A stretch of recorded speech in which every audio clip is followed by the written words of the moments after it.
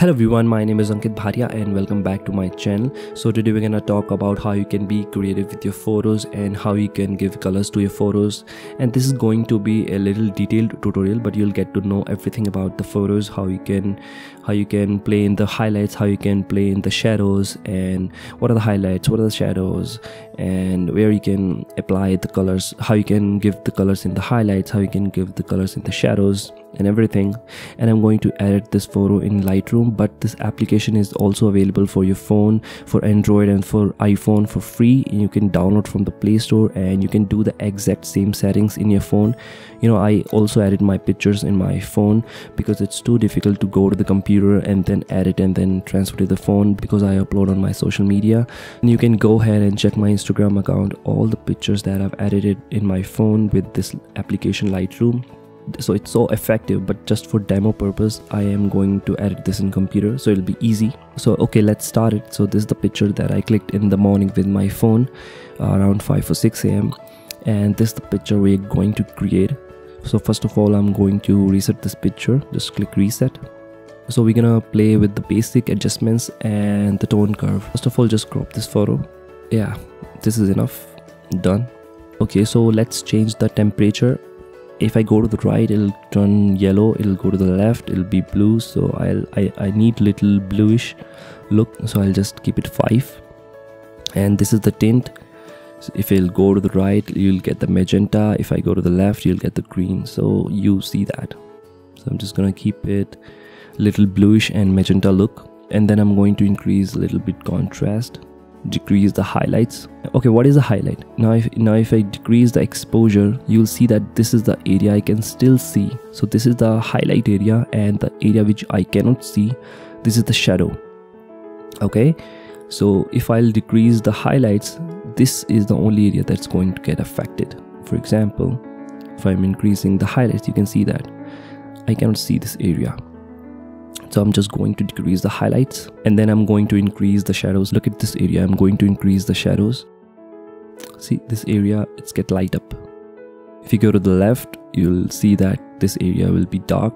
If you go to the right and that's how. So i'll just keep it 33 and then i'll increase the whites a little bit and i'm going to decrease the blacks just to give it a contrast so whites and blacks are to give a little bit more contrast. So if i'll decrease the uh, blacks you'll see it's more contrasty. Now i'm going to increase a little bit vibrance.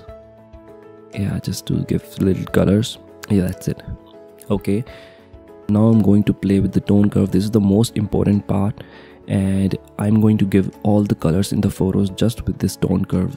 Just just watch it for now. Okay first of all i'm going to play in the rgb channel. This is just you don't have to do anything just create three points. And this is the highlight area and this is the shadows area. So if i'll decrease the highlights you'll see that i'm just basically decreasing the highlights.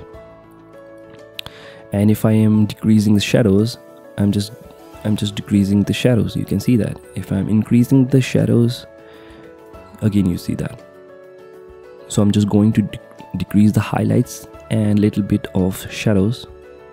And I'm just going to increase a little bit of midtones. This is the midtone area between the highlights and the shadows.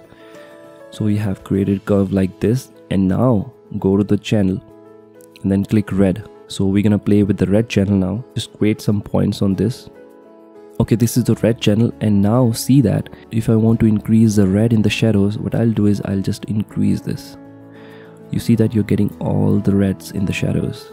And if I'll decrease it you'll get green. Like how? Check this color wheel the opposite of red is the green. So if I'll decrease the red you'll get the green. That's the same thing. So I'm decreasing red from the shadows it's getting all green. Okay? So I'm just going to decrease a little bit of red from the shadows and a little bit of red from the highlights. That's it. And now I'll go to the green channel and I'll create some points again.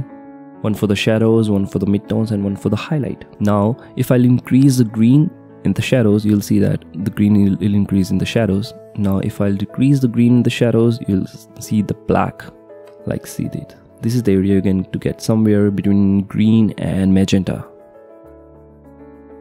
so we're going to increase a little bit of green in the shadows and decrease the green from the highlights. You see that if I'm decreasing greens you're seeing the all red and magenta color. If I'm decreasing all the greens you're seeing the magenta and the red is coming up. So this is the same thing. It's just the highlight area and I am just decreasing the greens from the highlights. You're seeing that all it's getting in the magenta the red. So just decrease a bit. And now go to the blue channel okay this is the blue channel. Now we're gonna create the three points again. Now you'll see that if I'll decrease the blue from the highlights you'll see that the, all the yellow is coming up. How? Let's go to the color wheel and see that. So opposite of blue is yellow. So if I'll decrease the blue you'll get the yellow. So if I'm decreasing the blue from the highlights you'll see that the yellow area will come up. That's the same basic phenomena. Yeah just decrease a bit. That's it and just keep it somewhere like this. And I'm going to decrease a little bit of blue from the shadows as well. Not much. Oh yeah somewhere like that. Yeah I'm just going to adjusting the blues. You can see that all the colors you will set it. I'm just adjusting it and I'm going to adjust a little bit of red and then back to blue and that's the picture we have created. So i'm just going to show you the before and after. Check this. We started with this picture and it does not have any colors in the photos. You can't you can't say anything when the picture was clicked. Now with this picture you can say that it's it's clicked either in the sunrise time or in the sunset time. And this picture looks much better to me. It has all the colors i want and the picture I want to see. So you can be creative with your photos and you can play with the colors you want in the highlights area and the shadows area. You just need to know this color wheel. And if you want to create a blue in the highlights then you increase the blue in the highlights. And if you don't give a yellow you can increase the yellow in the highlights. So that's the way you can do it. And it's so simple. And I hope this tutorial helped you. And if it helped you then please subscribe to my channel and like this video. And mention in the comment below what are the topics that you want me to cover. I'll do that. And I'm gonna see you in my next video. Till then take care. Bye bye